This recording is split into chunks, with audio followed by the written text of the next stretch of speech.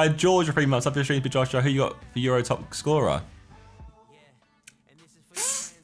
Is it going to be man like Lukaku? I thought Memphis would have got a goal the night, you know? I, I, I, I believe in Memphis, but apparently not.